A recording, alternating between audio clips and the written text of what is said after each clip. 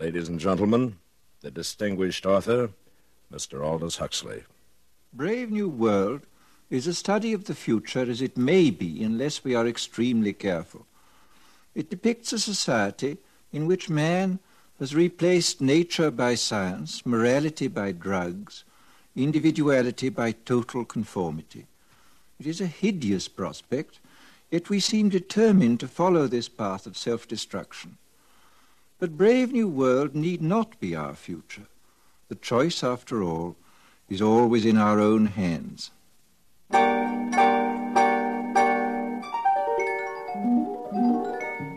CBS Radio, a division of the Columbia Broadcasting System, and its 217 affiliated stations present the CBS Radio Workshop, radio's distinguished series dedicated to man's imagination, the theater of the mind.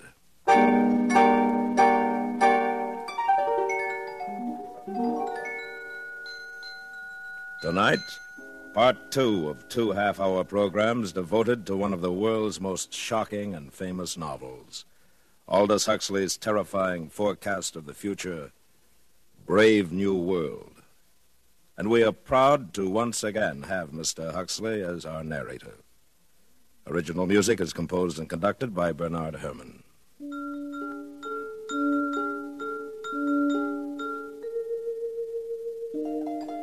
This is Aldous Huxley.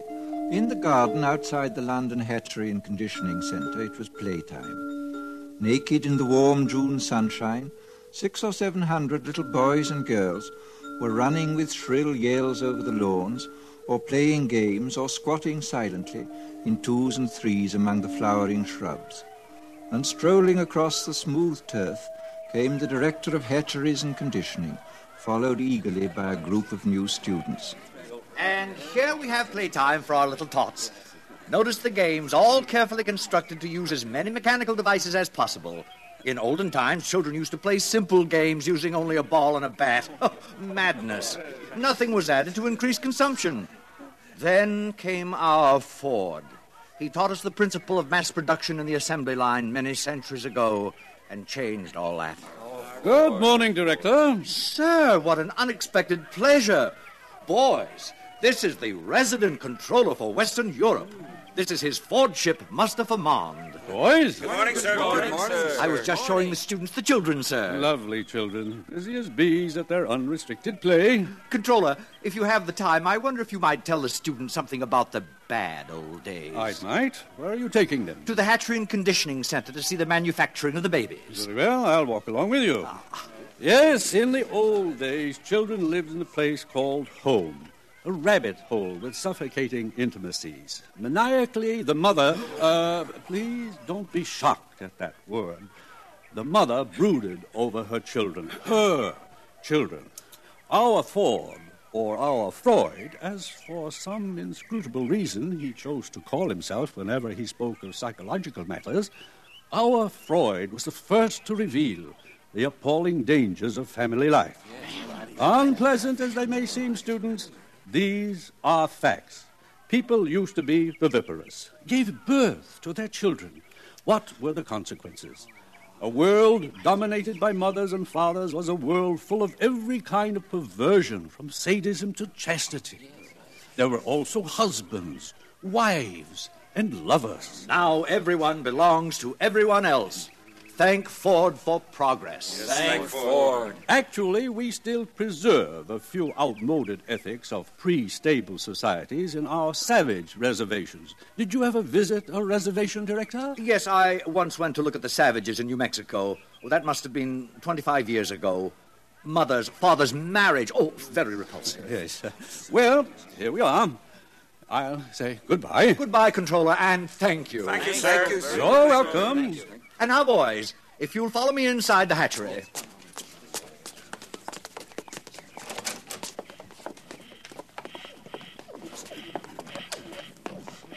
And here we are, a hive of activity. Alpha's superintending, Beta's doing the skilled work, Gamma's in green, busy at routine jobs, and Delta's in khaki, incapable of doing anything except sweeping the floor. Every member of society perfectly content to belong to his predestined caste. except for a few criminal exceptions. Uh, which reminds me, one of those criminal exceptions is meeting us here at 11. An Alpha Plus, no less. Mr. Bernard Marx. What has he done, sir? What has he done? He refuses to participate in mechanical sports. He is lax. He. Ah, here he comes now. Good morning, Director. Mr. Marx. You and Lena Crowne returned from the Savage Reservation last night, I understand. Yes, sir. Uh, we visited some of the places you told me about last week, Director. In fact, we met. silence. Your attention, please. Everyone step this way. If I have interrupted your labors, it is because a painful duty constrains me. This man who stands before you, this Alpha Plus, the highest level of society, has grossly betrayed the trust imposed in him by his heretical views on sports and Soma, by his scandalous refusal to be promiscuous. He has proved himself an enemy of society, a subverter, ladies and gentlemen, of all order and stability, a conspirator against civilization itself. For this reason, I am ordering his immediate transference to a subcenter of the lowest order. In Iceland, he will have small opportunity to lead others astray by his unfordly example. Bernard Marx, can you show any reason why I should not now execute the judgment passed upon you? Yes, I can. What did you say? You told me you visited the Savage Reservation 25 years ago, Director, with a young Beta Minus, I believe. Uh, you told me she was lost during a storm and that you returned without her. I thought perhaps you'd like to see her again. Linda, Thomas! Thomas! Oh, Thomas, it's me. Don't you remember? You're Linda. Oh, I knew I'd recognize you, Thomas. You look just the same. No one ages here. Thomas, look at me. I'm Linda. Remember? Hug me. Hold me. What is the meaning of this? Who is this hag? Thomas. Oh, Thomas, it's Linda. Linda, you're beta minus. John, look, it's him. It's your father. Father, father. Oh, what's the meaning of this disgusting joke?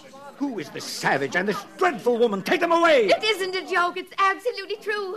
I'm his mother, and you're the father. Father, it's me, John. I'm your son. and now, now who is guilty of antisocial behavior, Director? No, no, no, no, no, no!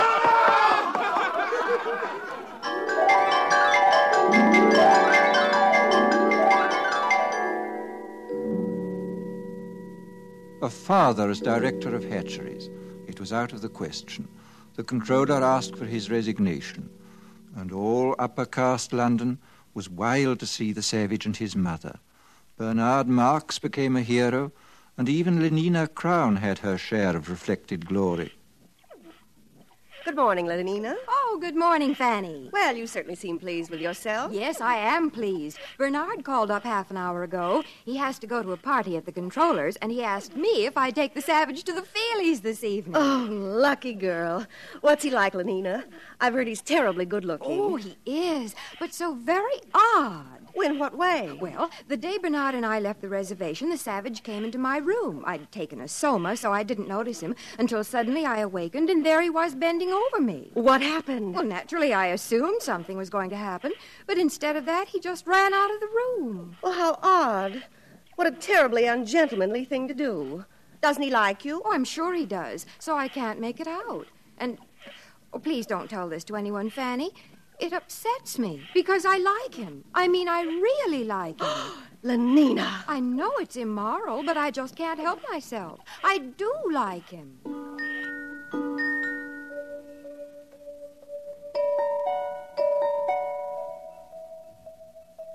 The days passed. Success went fizzily to Bernard's head. His diffidence turned to bumptiousness. His nonconformity was forgotten, and he became completely orthodox. The resident world controller appointed him official escort for the savage and asked him to make regular reports on the young man's reactions to civilization. This Bernard did assiduously.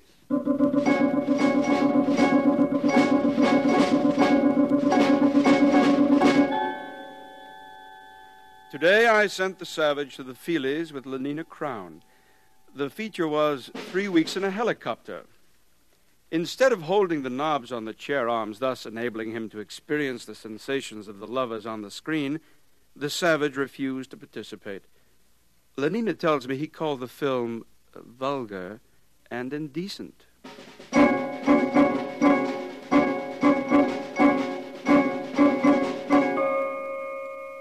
The savage refuses to take Soma and seems most distressed because the woman, Linda, his uh, M O T H E R, uh, remains permanently on soma holiday. Uh, in spite of her senility and the extreme repulsiveness of her appearance, uh, the savage frequently goes to see her and appears much attached to her.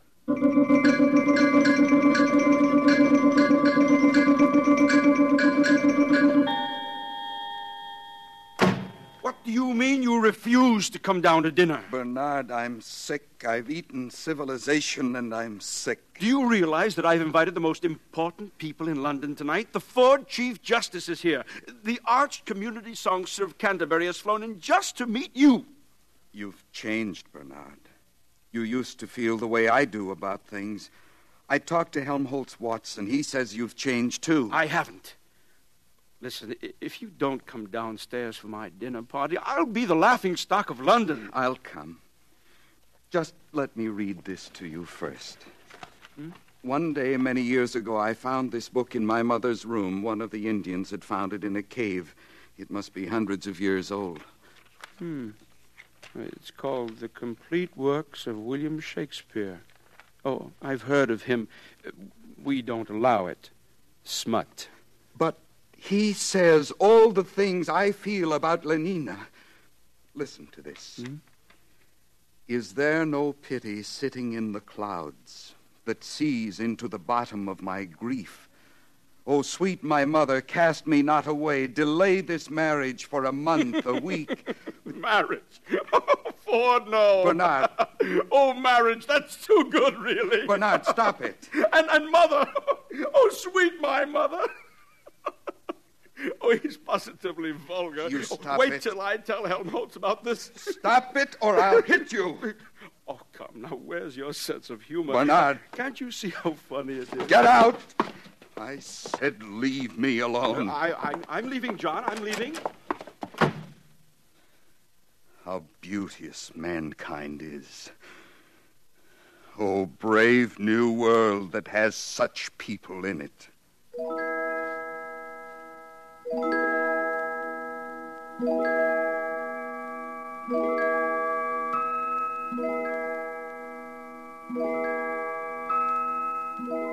next morning, a pneumatic young girl, crisply clad in a beta minus viscose linen suit, stood outside the door of the savage's apartment and somewhat nervously rang the buzzer.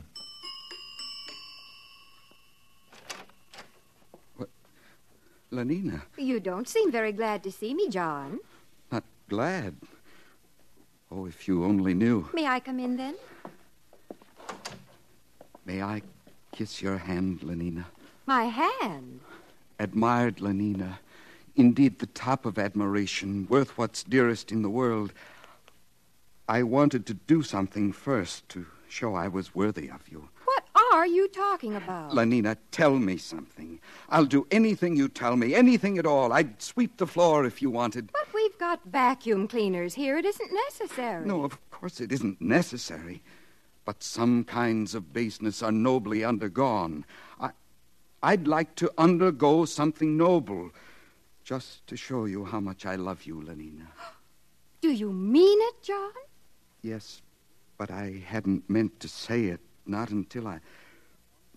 Listen, Lenina, on the reservation, people get married. Get what? For always. They make a promise to live together for always. What a disgusting idea. Answer me this question, John. Do you really like me or don't you? I love you more than anything in the world. Well, then, why on earth didn't you say so? Come here to me, John. Hug me. Oh, but Lenina, Hug me till you drug me, honey. Kiss me till I'm in a coma. Lenina, what are you doing? No, no, get away from me. Don't come near me. Hug me, honey. You, you strumpet. A gran is better than a dad. Get out! But don't you want Get me? out of my sight ah, John! before I kill you. Well, he's mad. He's gone mad. Oh, thou weed, who art so lovely fair and smell'st so sweet that the sense aches at thee. Impudent strumpet, impudent strumpet, impudent strumpet. Hello. Yes, this is Mr. Savage. Who's ill? Linda. My mother dying. Yes, yes, I'll come at once.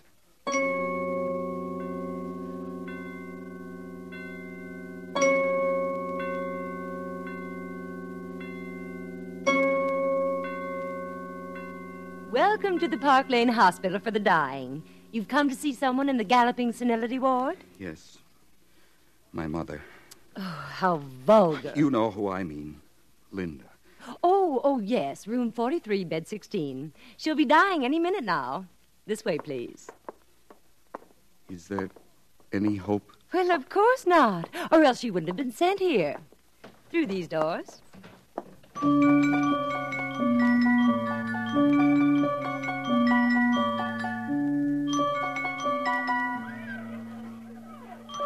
What are these children doing here? Death conditioning, of course. It starts at 18 months. Every tot spends two mornings a week in a hospital for the dying. All the best toys are kept here, and they get chocolate ice cream on death days.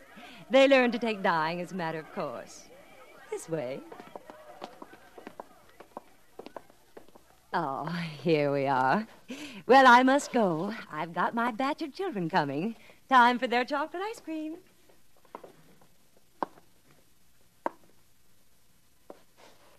Linda? Linda, it's John. Your eyes are open, but you don't know me, do you? It's John, your son. Linda? Linda, don't you know me? Hug me till you drug me, honey. Kiss me till I'm in a coma. Linda. Linda? Oh, Mother?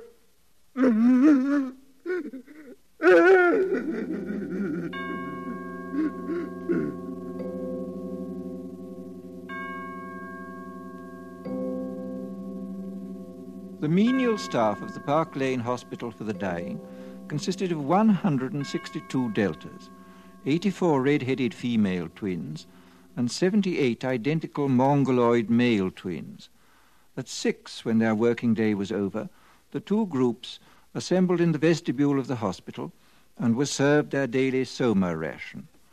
It was into this crowd that the savage walked, so overcome with his grief and his remorse that he did not realize he was shouldering his way into the gathering throng. All right, here it is. Soma distribution. In good order, please. Oh, hurry up there. Stand in line for your Soma. Linda. Linda died because of this. Oh, now don't grab. There's enough for everybody. One gram for an evening's delight, two for a trip to the gorgeous East, and four for a weekend in paradise. How beauteous mankind is.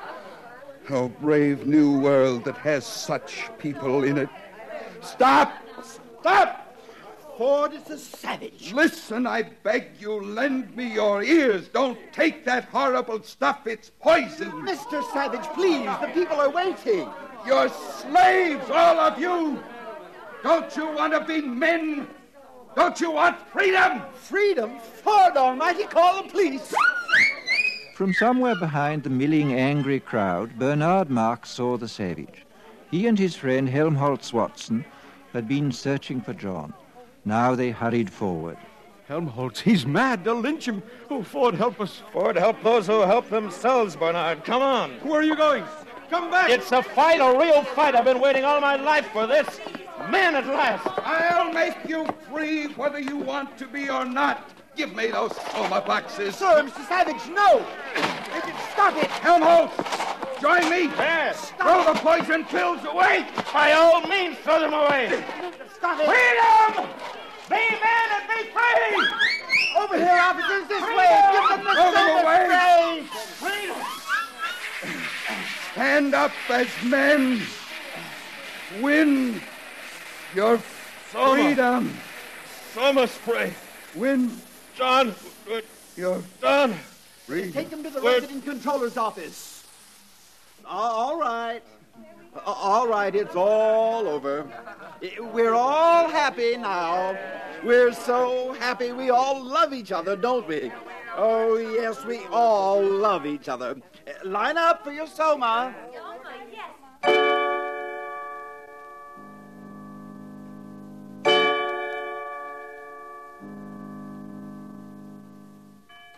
So you don't much like civilization, Mr. Savage. No, I don't. John, you're talking to the resident controller. We don't need your comments, Mr. Marx. I think civilization is horrible. And yet people are happy. They get what they want, and they never want what they can't get. They're well off, they're safe, they're never ill, they're not afraid of death, they're blissfully ignorant of passion and old age, they're plagued with no mother or father, they've got no wives or children to feel strongly about, they're so conditioned that they practically can't help behaving as they ought to behave. and you ask them to chuck this all away for liberty? My good boy. All the same, it seems quite horrible to me. Of course it does. Actual happiness always looks pretty squalid in comparison with the overcompensations for misery. And being contented has none of the glamour of a good fight against misfortune. Happiness is never grand. They call this happiness. Working at an embryo assembly line, manufacturing babies. Science, my boy. Besides, they like it. Well, Mr. Marx, the time has come. You are being sent to an island. To an island? Oh, please, sir. Don't send me to Iceland. I, promise I'll do what I should. I'll conform to the rules. One would think he was going to have his throat cut, whereas if he had the smallest sense, he'd understand his punishment is really a reward. He'll be sent to an island where he'll meet the most interesting set of men and women in the world. All the people who weren't satisfied with orthodoxy. Everyone, in a word, who's anyone. Then why didn't you go to an island yourself? Because finally I preferred this. Sometimes I regret it. Happiness is a hard master, particularly other people's happiness. Well, gentlemen, there are many islands available. Which climate do you choose, Mr. Watson? Well, I should like a thoroughly bad climate. I think I'd write better if I had to contend with difficulties. How about the Falkland Islands? That would be fine. Good. You may leave now. You too, Mr. Marx. Uh, goodbye, Helmholtz. Goodbye, Bernard. Goodbye, John. Goodbye, John. One more question. Of course. Where is God in this scheme of yours? It's a subject that has always had a great interest for me. You've never read this, of course, the Holy Bible, New and Old Testaments. I've got quite a few revolting old books like that here. But if you know about God, why don't you tell the people? This book is old. It's about God hundreds of years ago, not God now. But God doesn't change. Men do, though. No, my friend, call it the fault of civilization. God isn't compatible with machinery and scientific medicine and universal happiness. But when you're alone, it's natural to believe in God. When you're quite alone in the night, thinking about death. But people are never alone now. We make them hate solitude, and we arrange their lives so that it's almost impossible for them ever to have it. No solitude, no God. Is that why there's no self denial here? No God? No reason for it? Of course. Industry and prosperity are only possible when there is no self denial. If the were, the wheels would stop turning. But God's the reason for everything noble and fine and heroic. My dear young friend, civilization has absolutely no need for nobility or heroism. You're conditioned so that you can't help doing what you ought to do. And what you ought to do is, on the whole, so pleasant. So many of the natural impulses are allowed free play that there really aren't any temptations to resist. Anybody can be virtuous now. No temptations, no inconveniences. But I like the inconveniences. We don't. We prefer to do things comfortably. But I don't want comfort. I want God. I want poetry. I want real danger. I want freedom. I want goodness. I want sin. In fact, you're claiming the right to be unhappy. All right. I'm claiming the right to be unhappy. Not to mention the right to grow old and ugly and impotent. The right to have cancer. The right to have too little to eat. The right to live in constant apprehension of what may happen tomorrow. The right to be tortured by unspeakable pains of every kind. I claim them all. You're welcome.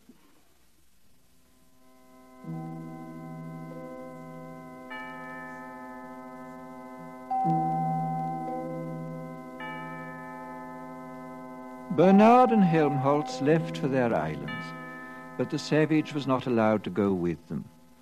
The controller wished to continue the experiment. Three weeks later, the savage ran away.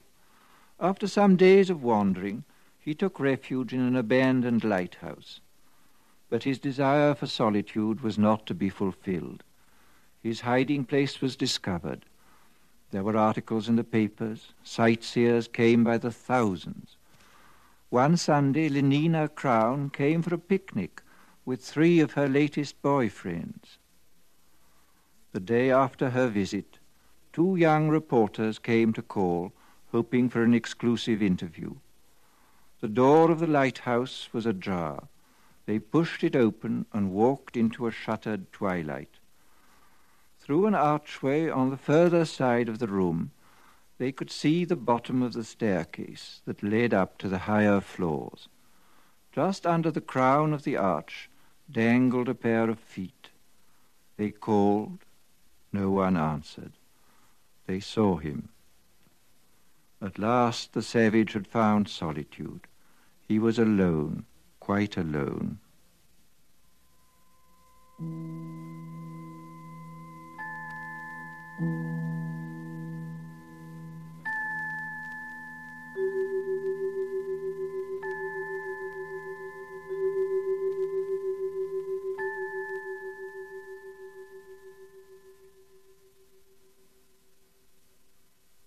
Thus concludes Brave New World by Aldous Huxley. We wish to thank Mr. Huxley for appearing on these broadcasts as our narrator.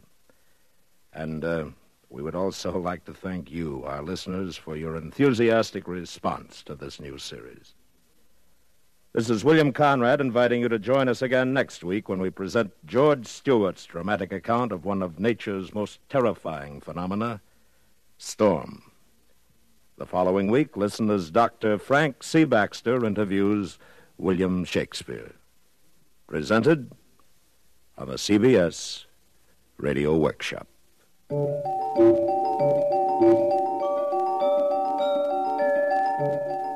The CBS Radio Workshop is produced and directed by William Froug. Brave New World was adapted for radio by Mr. Froug. Featured in the cast were Joseph Kearns, Herb Butterfield, Bill Idelson, Gloria Henry, Charlotte Lawrence, Parley Baer, Dora Singleton, Jack Kruschen, Vic Perrin, and Lorene Tuttle. Original music composed and conducted by Bernard Herrmann.